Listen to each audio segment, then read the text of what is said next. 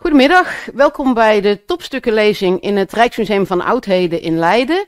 En vandaag een topstuk uit de middeleeuwen, uh, de Fibula van Dorenstad. En ik denk dat een deel van u, want er zijn, u bent met heel veel vandaag, uh, misschien de Fibula of mij of allebei op uh, het aflevering van het Verhaal van Nederland uh, hebben gezien.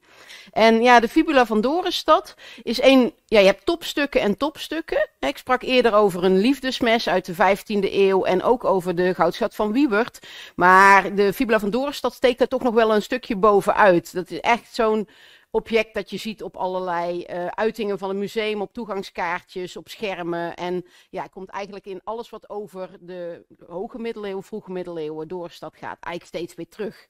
Dus een echt topstuk, topstuk, zeg maar.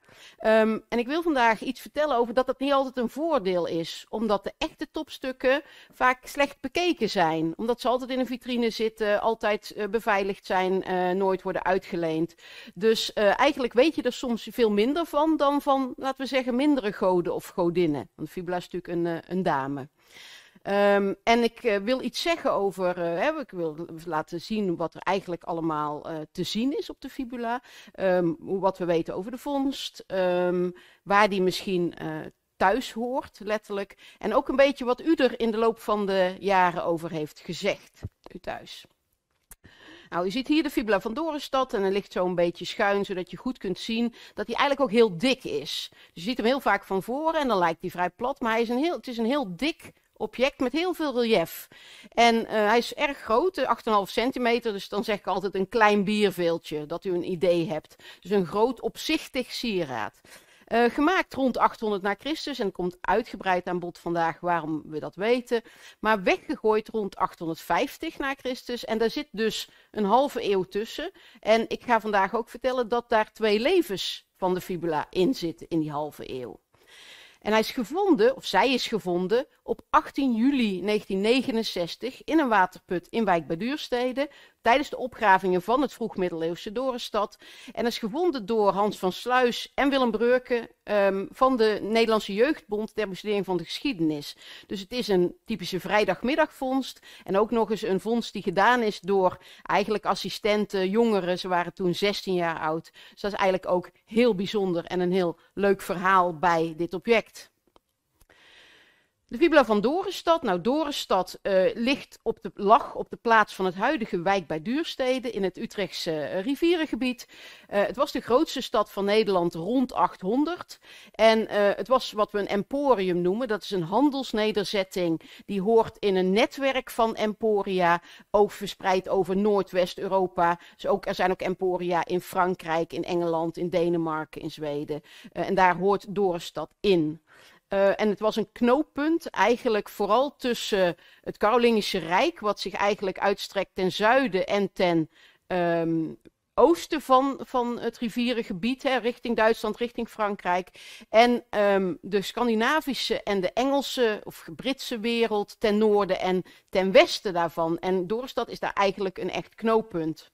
Nou, er was een uh, belangrijke munt in Doorstad, dus er werden op hele grote schaal munten geslagen. Een van de productiefste munten van het hele Karolingische Rijk. Er was een tolkantoor, daardoor weten we ook waar er in gehandeld werd op deze plaats.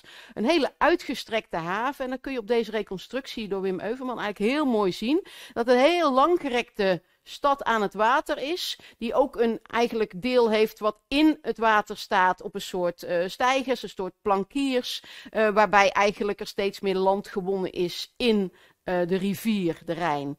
En we gokken de stad op een paar duizend inwoners en is voor die tijd heel erg groot. Zeker als je bijvoorbeeld weet dat in deze tijd Amsterdam nog niet bestond en, en Utrecht 400 inwoners had. en in de Frankische bronnen, dus de geschreven teksten over deze tijd rond 800, is Doorstad de enige plek die Vicus famosus of Vicus illustrissimus wordt genoemd. En dat betekent de beroemde of de veelbesproken stad. En we kennen geen enkele plek in dat hele uitgestrekte rijk die zo uh, betiteld wordt. De fibula van Doorstad is een ronde schijf. En um, je ziet eigenlijk vrij goed meteen dat hij um, bedoeld is om gedragen te worden. En dat hij bedoeld is om frontaal gezien te worden, dus van de voorkant. Uh, ik zei al, het is een, een topstuk wat, uh, wat eigenlijk uh, weinig um, ja, van zijn plek komt. En daarom is het natuurlijk een, een absolute privilege van de conservator, dat ben ik dan, om hem wel vast te mogen houden en, en te mogen bekijken. En die foto die u van internet mogelijk kent, is dus ook mij met de echte fibula, niet met een replica of zo, wat veel mensen altijd denken. En ik voel me echt bevoorrecht dat ik uh, veel met dit object mag, uh, mag omgaan. En als je dan gaat kijken naar wat je eigenlijk ziet, dan zie je een, een kruisvorm door die fibula heen. Als u kijkt naar de bovenste en de onderste steen, dan vormen die eigenlijk een lijn. En dat geldt ook voor de linkse en de rechtse steen. Dus eigenlijk vormen de rode stenen een kruis met daartussenin vlakjes met groen en blauw en wit van emai. En uh, u ziet ook meteen dat één steen ontbreekt aan de linkerkant. Uh, en we denken dat die er altijd al uit was. Maar ik ga nog iets later nog zeggen hoe we dat weten. Um, de middelste steen is een almandijn. Uh, dat heet cabochon geslepen en in een vat ingezet. En de stenen eromheen, die vier waar nu een van mist. Dus die drie rode stenen, dat zijn ook almandijnen. En uit onderzoek is gebleken dat, die, dat dat twee stenen zijn die allebei zijn doorgezaagd. En dat, die dus, uh, dat het halve stenen zijn die in die vattingen zijn gezet. Uh, daartussenin dus uh, dat groen-wit-blauwige, dat is emaille cloisonné heet dat. Dus celletjes emaille, gekloosterd emaille letterlijk. Het zijn dus gouden celletjes met daarin uh, wat daarin gesmolten is. En die stukjes, dat kunt u denk ik zien, zijn losgemaakt en daar ingezet. Dus die staan op zich als losse stukjes en zijn in die fibula gelegd. Um, dat is de, het ene kruis. Als u dan kijkt naar de witte grote stenen in de rand, die vier witte stenen, dat zijn grote parels. En die vormen ook weer een kruis. Die parels worden omgeven door een gekruld, dubbel gekruld motief. Dat heet een vuurslagmotief. Maar als u kijkt, ziet u dat de puntjes van die vuurslag met groen glas zijn ingelegd. En dat lijken dan ook snavels van vogels te zijn. Um, en het, tussen die vuurslagmotieven zitten dan weer rode stukjes emaai met daartussenin weer steentjes als je dan weer naar het midden van de fibula gaat kijken. Dus eigenlijk twee kruisen die elkaar kruisen. Nou, die kruisen worden uitgelegd, en u kunt ze hier ook vrij goed op zien, uh, als christelijke motieven. Um, en dus dat het een fibula, een broche, een mantelspeld zou zijn waarmee je het christendom uit kunt dragen. Ik moet dan altijd zelf heel erg denken aan uh, wijlen uh, professor Ina Isings, die tegen mij ooit zei: Wat nou christelijk, zo snij ik een taart aan. En dat is natuurlijk ook waar. En um, dat is geen flauwe opmerking, want er bestaan wel degelijk ook uit andere geloven, bijvoorbeeld islamitische sieraden, die cirkelvormig zijn en waar de de versiering uh, elkaar kruist. En het ligt ook best wel voor de hand als je een cirkel tekent en je gaat daar dingen op uh, uh, plannen qua um, versiering, dat je uitkomt op, op kruisvormen. Dus dat betekent eigenlijk niet per se dat dat christelijk is. De context van het object overigens wijst daar eigenlijk wel op. En daar ga ik eigenlijk ook nog iets over zeggen. Er zit ook nog een, een andere kant aan dat verhaal. Um, is dat een kruisvorm uh, heel geschikt is om een cirkelvorm te uh, versieren. Het kan natuurlijk ook zijn dat er bewust gekozen is voor een cirkelvorm, zodat je er kruisen op kunt zetten. We zien namelijk al eerder, al rond 700, cirkelvormige ronde fibula's uh, met kruisvormige decoratie, die heel prominent aanwezig zijn in de graven van hoogstaande, hooggeplaatste vrouwen uit steden die al christelijk zijn geworden. En het zou dus best kunnen dat de populariteit van ronde brosjes, terwijl er eerder andere types brosjes waren, uh, te maken heeft met het feit dat ze graag kruisen willen laten zien. Dus ja, het kan de ene kant of de andere kant op. Wat u verder nog kunt zien is het inlegwerk in rood. Dat is uh, almandijn. En als u goed kijkt, ziet u daar soms een soort uh, wafelpatroontje onder. Een soort klein gekruist patroontje als je er doorheen kijkt. En uh, dat, is, dat is inderdaad gewafeld folie wat daaronder zit in die celletjes. Waar bovenop de halfedelsteen ligt. Zodat je eigenlijk de schittering verhoogt. En gebleken is als je de fibula beweegt dat mag ik dan natuurlijk, dat je ook die schittering steeds op een andere plek krijgt. Uh, er zitten dan nog parels in, onder andere langs de rand, die kleine witte parels. En die zijn, die zijn doorboord, dus die hebben ooit aan een snoer gezeten. Uh, van dichtbij um, het emaai en de steen. Uh, en van dichtbij de rand, waarbij je de, de halve stenen ziet, plus de, de vuurslagmotieven met die, met, die, met die vogelsnavels. En ook de parels en uh, de kleine pareltjes. En op de plaatje rechtsonder kunt u heel goed zien uh, dat die parels doorboord zijn, de kleintjes. U ziet een heel mooi gaatje daarvoor in zitten. Ook zien dat er een draadje zit rond de, de, de buitenrand van de fibula, een gekarteld draadje, wat eigenlijk het geheel afsluit. En het groen overigens is, uh, dus in die snaveltjes, dat is groen glas. Als je dan de fibula uh, bekijkt uh, van wie zou hem gedragen hebben, dan blijkt heel duidelijk dat het een type mantelspeld een type uh, broche is dat door dames wordt gedragen. En dan met name door dames door op hun, uh, ja, eigenlijk op de borst, om een mantel dicht te spelden. En dan begrijp je meteen ook waarom het zo'n zwaar, uh, groot object is. En u ziet op het plaatje rechts uit ongeveer dezelfde tijd uh, duidelijk een dame met een, min of meer bloemvormige ronde fibula. En op het plaatje middenin uit hetzelfde handschrift uh, een, uh, een, een, dame met een grote kruisvormige, cirkelvormige fibula op. En u ziet hoe overdreven bijna wordt hoe groot die dingen zijn. Uh, omdat je dan heel makkelijk kunt herkennen, ook op die plaatjes, die in het echt natuurlijk maar een paar centimeter hoog zijn, dat iemand zo'n grote opzichtige kruisfibula draagt. En we denken dus dat uh, de, de tekenaar van dit boek, de schilder van dit boek, ook echt wil benadrukken dat dit christenen zijn. Met name daar in het midden, we zien dat iets vaker groepjes mensen, vooraan staan vrouwen met die duidelijke kruisvormige brosjes, om erop te wijzen dat het christenen zijn. En in dit geval staan ze ook ook in een kerkportaal afgebeeld. Uh, het plaatje links uit hetzelfde handschrift uh, zit erbij omdat u daar een, een, koning ziet met een zwaard op schoot. En dat iets later in de lezing blijkt waarom u daar nu al eventjes naar kunt kijken. Dus een broche voor een dame, um, mogelijk om het christendom uit te dragen uit Dorenstad, rond 800 gemaakt, rond de tijd van Karel de Grote. En twee, of een halve eeuw later, twee generaties later, kwijtgeraakt.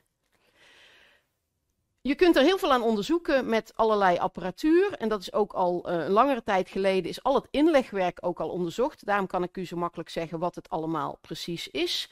Uh, met een XRF, dat is röntgenfluorescentie, waarbij je zonder het object aan te raken de samenstelling, de chemische samenstelling van uh, het inlegwerk kunt, uh, kunt onderzoeken. En uh, we hebben dus ook onderzocht of al die steentjes bij elkaar horen. Dus of het om dezelfde steentjes gaat of steeds andere. Um, want de fibula. Um, ja, je, je, kon eigenlijk al goed zien dat die eigenlijk is samengesteld uit dingen die ouder zijn. Hè? Dus die vier stukjes uh, die stenen, uh, dus e twee dezelfde stenen, één andere steen. En ook die parels die al eerder gebruikt waren. Dus het lijkt echt alsof er op een tekentafel uh, een cirkelvorm en of die dingetjes er zijn ingepast. En ze wilden ook heel graag weten toen we dit onderzoek deden of uh, het inderdaad om, om dezelfde stenen gaat en dezelfde inlegwerkjes. En dat wordt nog belangrijk in wat ik nu ga vertellen, namelijk de achterkant. Want uh, ja, je kunt heel veel, heel technisch onderzoek doen naar dit soort objecten en daar kun je heel veel van leren. Maar mijn overtuiging is dat je er eigenlijk nog het meest van leert als je er gewoon eens een dag heel goed naar gaat kijken. En opnieuw de privileges van de, van de conservator, um, om er gewoon eens een dag mee in, uh, op je kamer te gaan zitten en goed naar te kijken. En dat is heel belangrijk, want aan de achterkant blijkt dat het helemaal geen fibula is. Of om precies te zijn, geen fibula meer is. Je ziet aan de achterkant dat er twee beugeltjes, twee ovale beugeltjes hebben gezeten. Eén zie je links en die zit eigenlijk linksboven ook op de uh, foto van de hele achterkant. En de andere zie je rechtsonder eigenlijk daar. En die beugeltjes zijn mogelijk resten van de speld. Hoewel het ook zou kunnen zijn dat ze echt beugeltjes waren en dat er een, uh, een leren riempje doorheen zat toen hij werd gedragen waarmee je hem vast kunt zetten. Weten we niet helemaal zeker, want die dingen zijn afgezaagd en afgeveld. En um, er is op die plek door de fibula heen gehamerd. Er zijn gaatjes gemaakt op precies die twee plekken, um, vrij hard uh, er doorheen. Um, aan de voorkant kun je dat niet zien, omdat er keurig opnieuw die steentjes in zijn gezet. Dus er zijn steentjes uitgewipt, gaatjes ingeslagen om hem ergens op vast te hameren, vast te spijkeren. En vervolgens zijn keurig die steentjes opnieuw daarin gezet. Je ziet, als het goed is, dat die gaatjes recht rechtsonder een stuk groter zijn dan de gaatjes linksonder. En dat komt omdat er met behoorlijk geweld dit ding ergens van afgebroken is, ergens van afgetrokken is. Nou, fibula dus eerst een fibula geweest, wandaanhechting van een speld of een uh, dingetje, gedragen, maar vervolgens dus ergens opgespijkerd. En als je in de context van deze tijd kijkt en uh, dan ja, het, het, type object, dan lijkt die het het meest logisch dat hij op een boekband heeft gespijkerd gezeten. Een houten boekband. Een kistje zou ook kunnen, alleen het patroon, als je dat daar zo'n ding van af zou trekken, lijkt iets anders te zijn. Weten we niet helemaal zeker. Maar ook um, als je dit op een kistje voorstelt, kun je het kistje eigenlijk niet echt gebruiken, omdat hij zoveel relief heeft. En bij een boekband, waar dat soms wat invalt in hogere stukjes, lijkt dat misschien iets beter mogelijk. Nou, dus het tweede leven gehad eh, op een boekband, dat betekent bijna zeker uh, als deel van een kerk of een kloosterschat. Dat wil dus zeggen dat die eerst, de fibula eerst een um, juweel, een sieraad is geweest, wat door iemand is gedragen, en daarna deel van een uh, religieuze religieus object.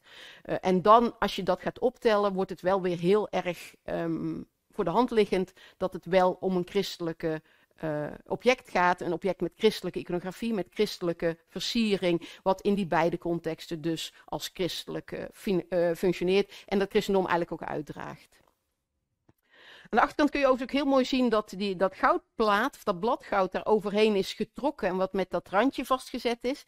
En dat uh, je ziet dat het relief van al die stukjes, dat je dat eigenlijk het, het negatief van ziet aan de achterkant. Je ziet al die, uh, ja, dus de, de, uh, om, de cirkel, om de middelste steen heen een cirkel, om die rode stenen heen een cirkel. En ook om die, die vuurslagmotieven. En je kunt nu ook eigenlijk heel goed zien dat die open zijn. Hè? Dat dat dus open gezaagde ajour heet dat, motieven zijn. Dat kun je op de voorkant soms wat minder goed zien. Maar als je dan bedenkt dat je beide dingen hebt, dus een, een sieraad en een uh, mogelijk christelijk uh, object, uh, wat, wat op een boekband heeft gezeten, dan onderstreept het eigenlijk wat we nu denken van de stad Doorstad. Namelijk dat dat veel meer is dan een emporium, dus veel meer dan een handelsnederzetting. die handelsnederzettingen worden vaak heel eendimensionaal beschreven in de literatuur. Van het is een, een knooppunt voor handel, objecten gaan erheen en objecten gaan weer weg. En er wordt tol opgeheven en ze worden soms. Um, uh, ja, uh, wordt voor betaald. Maar er hoort veel meer in die stad. Er wonen natuurlijk mensen en ook als er objecten langskomen, worden die altijd door mensen verplaatst. Um, maar er horen ook geestelijke in die stad. En daarom staat op dit plaatje, als je goed kijkt, uh, ergens middenin een, een klein processietje getekend van geestelijke. Omdat dat echt bij het verhaal van Doorstad hoort. En um, ja, de identiteitsdingetjes, dus mensen die iets willen zeggen over wat ze geloven of wie ze zijn, hoort dus ook in dat plaatje terug. Dus niet een, een coole handelsnederzetting waar iedereen alleen maar bezig is met geld. Maar ook um, spiritualiteit, uh, al die dingen horen in een stad. En ja, uh, dat betekent dat zo'n stad als Doorstad, uh, ook al heeft hij veel minder inwoners, eigenlijk net zo complex is en net zoveel verschillende functies heeft als een, een stad, ja, eigenlijk in de late middeleeuwen of, of zelfs nu, nu in onze tijd.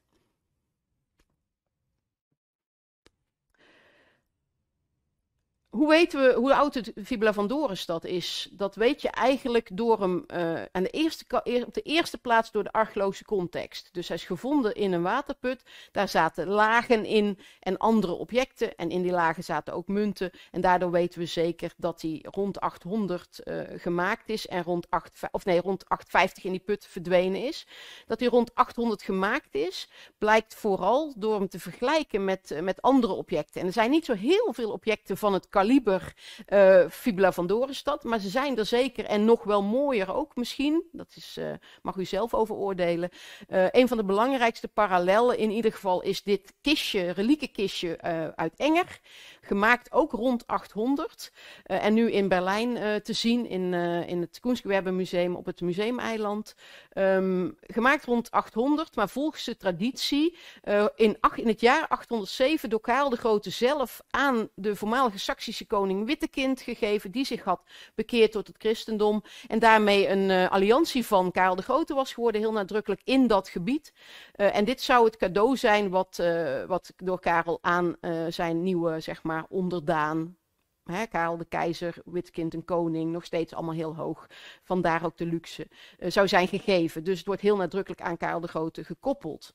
Helemaal zeker weten we dat niet, maar traditie is er wel al heel lang bij. Um, wat ook belangrijk is van dit object, is dat het draagbaar is. En dat zie je heel mooi aan dat, uh, dat dingetje wat uitsteekt aan de rechterkant, is dat je het met je mee kunt dragen. Dus het is niet zo'n groot object, maar je kunt het nog steeds aan iets om je nek dragen of zo. En daarmee uh, is het ook verplaatsbaar, uh, verplaatsbare rijkdom die je ook weer kunt gebruiken om christendom uit te dragen.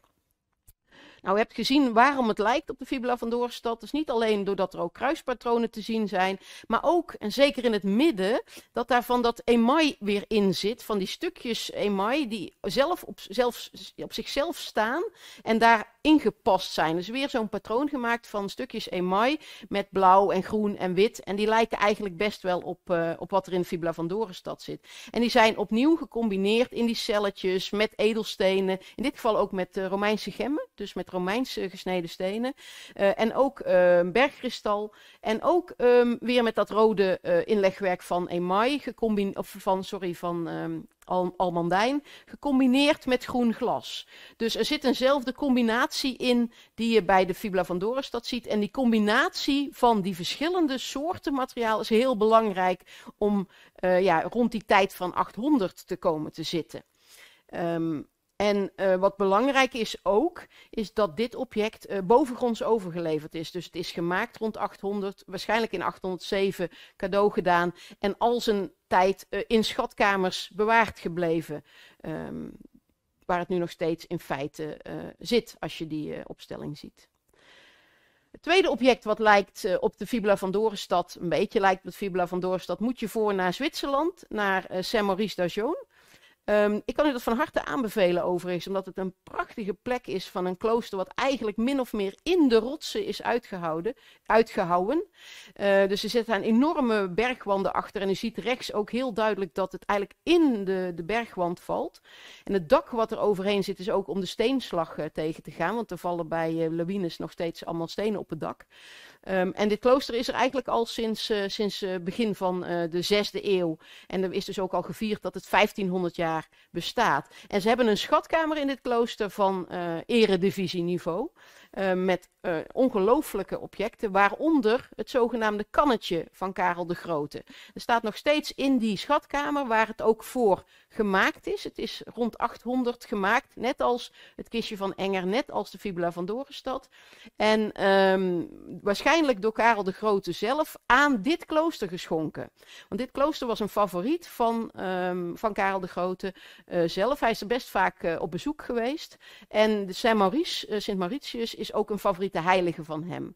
En hier zie je opnieuw uh, dat, dat met name dat inlegwerk van Emai gecombineerd met andere technieken. Dus het is een heel ander object, maar je ziet dezelfde combinatie. Ook dit object bovengronds overgeleverd, in schatkamers bewaard gebleven. Dat maakt de fibula van Doorstad eigenlijk nog bijzonderder dan hij al is. Omdat um, dat het enige object van dit kaliber is in, deze, in dit gezelschap van prachtige objecten, wat um, ja, uh, honderden jaren, uh, meer dan duizend jaar in de grond heeft gezeten en toen weer boven is gekomen. Er zijn ook objecten die veel vergeleken worden met de fibula van Dorenstad, maar die er uh, qua datering eigenlijk niet bij passen. En ik heb er eentje gekozen uit dezelfde schatkamer om even misschien nog duidelijk uit te leggen door te laten zien wat er niet hetzelfde is. Hoe je dan dingen van rond, uh, vanuit de zevende eeuw, Merovingische tijd, uh, kunt onderscheiden, theoretisch zou kunnen onderscheiden van objecten uit de Carolingische tijd van rond 800. Dit kistje van Teuderik En ik heb expres daar geen aanhalingstekens om gezet, want de naam van degene die dit kistje heeft geschonken aan de schatkamer van Saint-Maurice d'Aujon staat op de achterkant in die uh, ja, uh, wat is het? Een, uh, een soort wafelpatroon. Daar staan die letters in. Staat dat dit kistje door hem gegeven is. Staan overigens ook de namen van de mensen die het hebben laten maken op. En ook twee namen van goudsmeden. En dat is heel zeldzaam dat je dat, dat soort informatie hebt. maar dit kistje is dus gegeven aan de abdij in de eerste helft van de zevende eeuw. Gemaakt in de eerste helft van de zevende eeuw. En daar zie je wel kruisvormen. En je ziet ook inlegwerk in um, celletjes van rode stenen van uh, uh, almandijn weer en ook edelstenen. Uh, maar wat je mist is emaai. Um, de combinatie van die emaai-patronen met um, het, het inlegwerk in, in rode stenen en de edelstenen.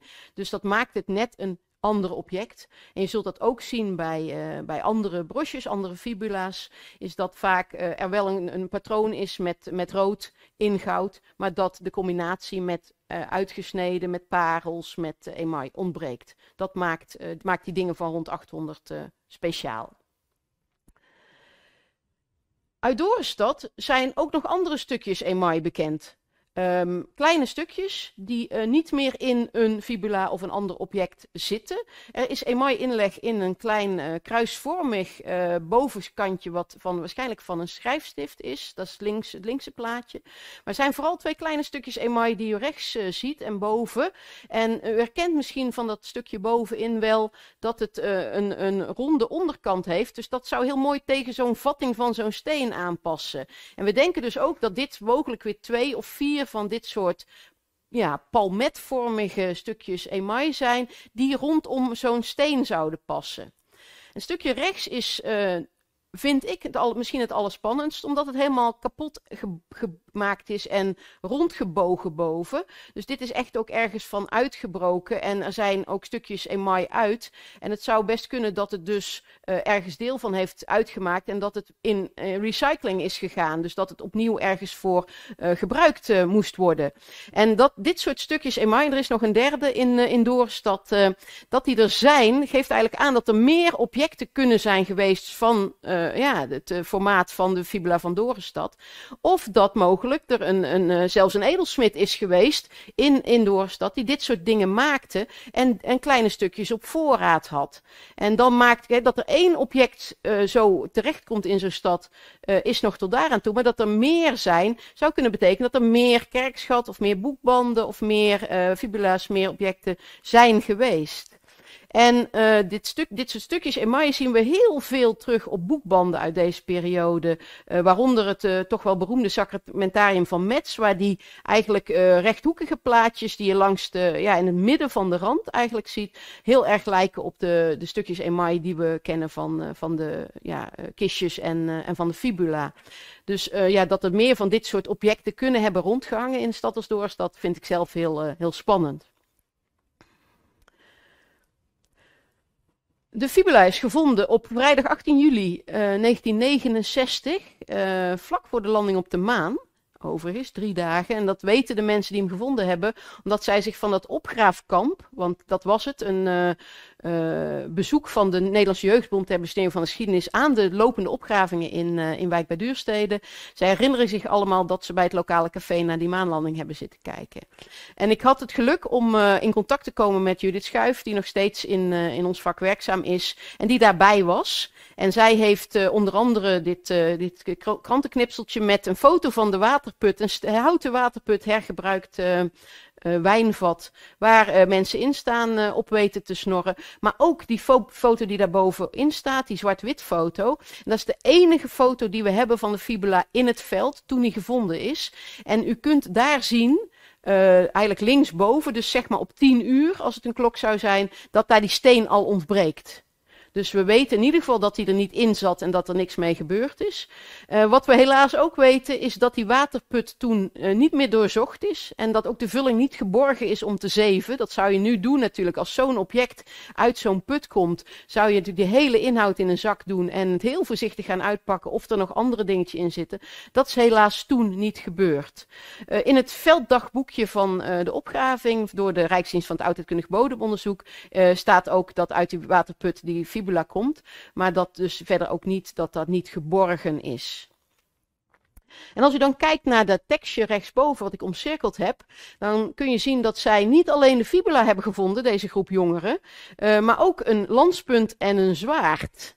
En dat is uh, iets wat lange tijd eigenlijk uh, onderbelicht is gebleven en ook weer zoiets is wat veel minder beroemd is dan dat grote topstuk fibula van Dorenstad. Maar dat is het zwaard van Dorenstad. En het zwaard van Dorenstad hebben we een, uh, een 10, 15 jaar geleden ook maar gewoon het zwaard van Dorenstad genoemd. Zoals er de fibula van Dorenstad is. Omdat het eigenlijk net zo'n belangrijk object is. Het is een, uh, een zwaard, een tweesnijdend zwaard. Dat heet een spata. Ongeveer 80 centimeter lang. Uh, en wat er bijzonder aan is, is dat het een zilveren verguld gevest heeft. Dus zowel de pareerstang, dat is het stuk tussen de kling het, het slagdeel en het handvat, of dat heet een gevest, als de zwaardknop. Uh, en de, zijn uh, verguld met, met goud versierd geweest. En het is het enige zwaard met edelmetaal, met zulk, zulk ja, groot aandeel edelmetaal, wat we uit Nederland kennen. het is van ongeveer 850, maar er zit uh, op de bovenkant van uh, de gevestknop, en dat is wat u op het plaatje rechtsonder dan weer boven ziet, uh, een ouder stuk. misschien wel een eeuw ouder. Terwijl die andere twee randen duidelijk tegelijkertijd zijn en tegelijkertijd zijn gemaakt. Dat kan twee dingen betekenen. Dat het zwaard ouder is en dat er een nieuw gevest aan is gezet in een nieuwe stijl. Of dat er een ouder stukje hergebruikt is in een nieuw zwaard. In beide gevallen kan het betekenen dat het om een belangrijk zwaard ging met een belangrijk stukje, dus een zwaard van een voormalige koning of het zwaard van opa, en dat ze dat hebben willen laten doorleven in dit zwaard. En we weten uit onderzoek van Sue Brunning, eh, in het British Museum, dat veel zwaarden uit deze tijd uh, eigenlijk op zijn gebouwd uit stukjes, dat die eigenlijk dus meegroeiden en dat het zwaard bleef wat het was, maar dat er soms nieuwe elementen aan konden worden toegevoegd. En u ziet dat de kling van het zwaard, dus het slagdeel, dat is eigenlijk wat, uh, wat bruin roestig is, uh, eigenlijk best wel slecht bewaard is, uh, heel erg verroest is. En dat komt, dat is bijna, dat is niet bij alle zwaarden uit deze tijd. En dat komt omdat de zwaarden uit deze tijd vaak in rivieren gevonden zijn. En dan is de kling vaak heel mooi zilverkleurig. dit zwaard is echter in de grond gevonden. Um, en um, samen met, um, eventjes kijken, samen met een, een zwaar, of een lanspunt en, uh, en een glazen beker in een langgerekte kuil. En uh, als u terugdenkt aan die, uh, die mensen van de Jeugdbond voor Bestudering van de Geschiedenis, die het zwaard, die, die de fibula gevonden hebben, die hebben ook dit zwaard gevonden. en we hebben, er zijn foto's dat ze het echt vanuit de grond op een kartonnetje schuiven. en dat dus ook daar nog niet helemaal duidelijk is, eigenlijk net als bij de fibula, wat een belangrijke vondst het zou worden of het was. Een zwaard met verguld gevest um, noemen we, uh, dat zit dicht bij een koning. Dat heeft een heel mooi Duits woord, Königsnähe. Betekent dat het hoort in bij mensen die dicht bij de koning staan. Uh, die hadden zo'n zwaard en konden dat eventueel voor hem dragen. En dat zie je in de iconografie, in de beeldtaal van deze tijd terug. Uh, op dit plaatje zie je zowel een muurschildering uit Oostenrijk als een uh, handschrift uit, uit de bibliotheek in, in München. Waar je een, iemand ziet staan met een zwaard. die na, is afgebeeld naast een koning of naast in dit geval de keizer zelfs. Want dit is de, de gouden, het gouden boek van Karel, Karel de Kale. En je ziet hem daar op zijn, op zijn troon zitten. En naast hem staat een mannetje met een zwaard met een duidelijk verguld goudkleurig gevest.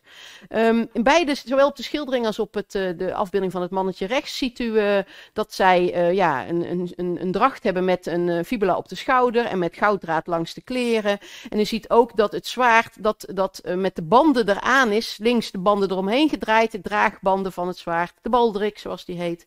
En daar heet ook die baldrik naar voor de, voor de Blackadder liefhebbers. En rechts de, de draag draagband, de riem met een luxe gesp en luxe uh, beslagstukjes daarop die aan het zwaard zitten. Dus het zwaard wordt op dit moment niet gedragen, maar het wordt in feite aangeboden. En dan is er discussie hoe je dit moet lezen. Of dit zwaard even vast wordt gehouden voor de keizer. Of dat de keizer dit zwaard aan deze persoon heeft gegeven. In beide gevallen is die persoon, heeft een hoge status. En dat kun je aan dat zwaard zien. Betekent ook dat we in Doorstad te maken hebben met zo'n persoon. Maakt dat we te maken hebben met iemand van Koningsnee. Iemand, een belangrijke, hoge, edele, die dicht bij de koning staat. Dicht bij de keizer. Dat is ook heel bijzonder. Uh, en dat realiseren we ons niet altijd, denk ik. Dat het gevonden is, het zwaard, in de grond met een lanspunt en een glazen beker, in een soort langgerekte kuil, betekent dat we waarschijnlijk te maken hebben met een wapengraf. Dus een graf van een man waarin zijn wapens waren meegegeven. En in dit geval dus een man met een hele hoge positie, waarbij zijn extreem luxe zwaard, wat al een tijdje in omloop was, denk aan het oudere stukje wat erin zit, uh, meegegeven is als uh, symbool van zijn status. Um, mogelijk ook om, om ja, in, een, in een ander leven of een plek waar je, waar om dan, waar je heen gaat. weet niet precies hoe ze dat voor zich zagen uh, in deze tijd met zo'n wapengraf. Om dan te kunnen laten zien hoe belangrijk je bent en, en wie je status is. En dan zeg ik iets wat eigenlijk bijzonder is in, in Doorstad. Want in Doorstad is eigenlijk een christelijke stad, zeker in de, in de 9e eeuw. En uh, daar vinden we heel veel. Hè. Er zijn 2500 uh, graven gevonden minstens. En het zijn bijna allemaal christelijke graven rondom kerkjes. Mensen oost-west gericht uh, gelegd. En zonder spulletjes mee, zonder bijgaven. Dus geen bewijs dat er nog iets van een reis volgde of een leven nakwam. En opeens hebben we hier een graf van rond 850, als echt wel heel veel christenen zijn, wat eigenlijk heel erg niet christelijk is. Dus een uh, graf van een, ja, een wapendrager, een man met een zwaard, een soldaat. Maar wie dan? En recent echt best heel recent, vorig jaar gepubliceerd, um, hebben we nog eens heel goed gekeken naar de vindplaatsen van deze objecten. En dan zult u zeggen, dat is toch al lang gedaan? Nou, dat denk je. Maar soms moet je van A weer terug naar B en weer terug naar A. En in dit geval keken we waar de, precies de waterput lag, waar de fibula in gevonden is en waar precies het zwaard gevonden is. En dan ziet u dat die plekken heel dicht bij elkaar zijn. Er zit een, een, een nou wat is het, 100 meter tussen. En op het kaartje rechtsonder ziet u dat die beide plekken uh, bij een huis liggen. Dat paarse blokje met H28 erin is huis 28. Dat betekent dat we hier te maken hebben met een behoorlijk groot huis op een erf met best wel wat bijgebouwen, waaronder dus een aantal waterputten. En in een van die waterputten zit die fibula, maar op datzelfde erf bij dat huis ligt een wapengraf. Een wapengraf aangelegd rond 850, precies het moment dat die fibula in die waterput terecht is gekomen. Ja, en dan is natuurlijk de grote vraag, wie woonde hier? Wie woonde hier? En dan valt 850 precies samen met uh, de eerste schriftelijke bronnen over Deense prinsen die het zeggenschap krijgen over Dorenstad, in Dorenstad gaan wonen, vanuit Dorenstad tol gaan heffen. En het gaat iets te ver om te zeggen dat je, dit, dat je hier zeker te maken hebt met het huis van hè, Rorik of Harald. Maar je hebt hier, mijn inziens, wel heel veel aanwijzingen dat het om het huis gaat van uh, niet-christelijke nieuwe heersers in Doorstad. Die met misschien Hè, uh, het, wegdoen van zo'n fibula, of um, het, het, het, vernielen van objecten, um, of het hergebruiken van objecten. Uh, en ook iemand begraven met, met zo'n belangrijk uh, zwaard. Misschien ook uiting geven aan hun, hun status binnen Dorenstad als Deense prinsen, maar dan als aanhangers van een, een ander geloof.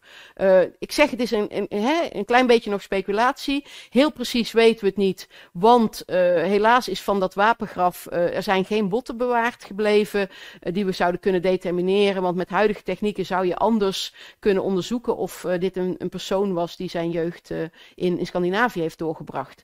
dat kan helaas niet. Dus het blijft een, een speculatie. die ik overigens een stuk breder uitleg in het artikel wat daar geciteerd wordt. Omdat ik het natuurlijk vrij kort door de bocht nu vertel. Maar de zwaard en de fibula, en dat is misschien het belangrijkste, horen bij elkaar, horen bij één uh, persoon of bij één familie in dit huis. Het huidige wijk bij Duurstede, um, over de opgravingen uit de jaren 60, waarbij de fibula gevonden is, is een, een woonwijk gebouwd. En uh, Mette Langbroek, een van mijn collega's van de Universiteit Leiden, die ooit stage bij mij liep, is ooit op eigen initiatief, omdat zij uit Wijk bij Duurstede komt, uh, op zoek gegaan wat precies de locatie is waar de fibula gevonden was in de huidige nieuwbouwwijk. En ons idee was eigenlijk, dat uh, was eigenlijk tweeledig. Aan de ene kant hoopten we eigenlijk dat er een zwembad of een wc zou zijn op die plek, omdat dat dan heel leuk zou zijn met hoe die ooit gevonden is. En de andere was dat we eigenlijk hoopten dat het een plek was die we zouden kunnen markeren met een bord of zo van hier, hè, met een grote pijl, hier is fibula gevonden. Want ja, de fibula, een van de belangrijkste archeologische vondsten van Nederland. Uh, het is eigenlijk jammer dat je ter plekke niet kunt zien waar die gevonden is.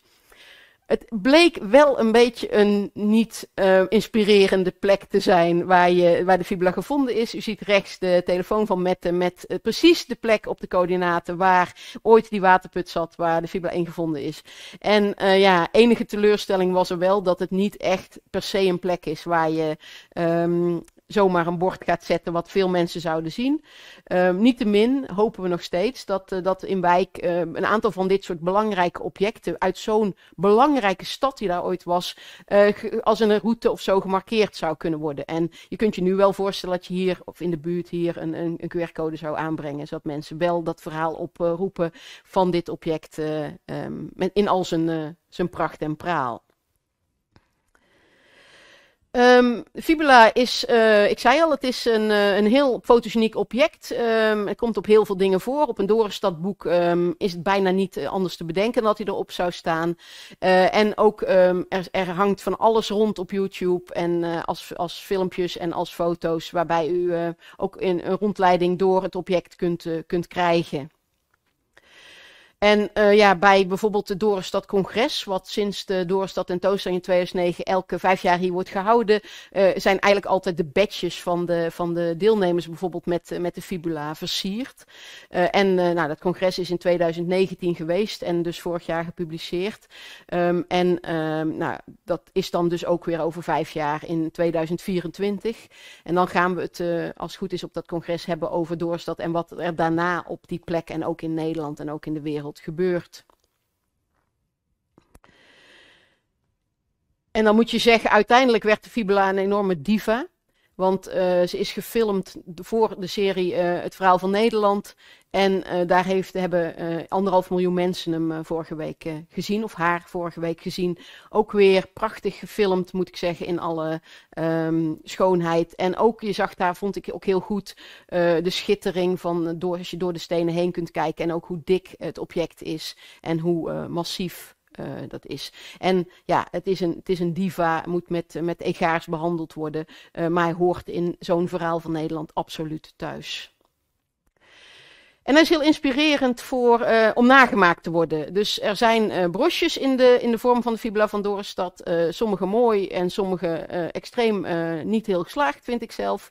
Um, voor mensen die nog in het inmiddels al jaren gesloten museum in Wijk bij Duurstede zijn geweest, weten dat de deuren daarvan een klink hebben in de vorm van de fibula van Dorenstad. Um, u kunt hem ook zelf maken, dat ziet u midden onder. Iemand heeft hem van goud goud uh, karton met uh, draadjes en kraaltjes nagemaakt. En rechts is uh, wat iemand mij ooit stuurde, een mozaïektafeltje dat we zouden kunnen kopen. Um, dat hebben we toch maar niet gedaan. En heel veel mensen hebben in de loop van de jaren uh, deze, dit object getekend of geschilderd of op andere manier vormgegeven. En u hebt dat in een heel aantal gevallen ook opgestuurd naar het museum. En dat vinden we echt ontzettend leuk. Dus het is een mooie gelegenheid om dat eens te zeggen. Dat uh, ja, het ook heel leuk is om te zien dat de inspiratie van zo'n object uh, eigenlijk voor zoveel mensen ook creativiteit oproept. En, en daar iets, ja, dat, dat u zich daarvoor, daartoe ook uitgenodigd voelt om daar zelf iets moois mee te doen. En als je dan lang gaat kijken, dan denk je, ja, er is eigenlijk maar één ding wat dan ontbreekt bij de fibula en het leven van de fibula. En dat is een pizza fibula. En op de laatste stagedag van Florian hebben we pizza's gemaakt in de vorm van de fibula. En ik hoop nog steeds dat er een restaurant in, uh, uh, in Wijk bij Duurstede of hier in Leiden natuurlijk uh, pizza fibula ooit op de kaart gaat zetten. Dank u wel.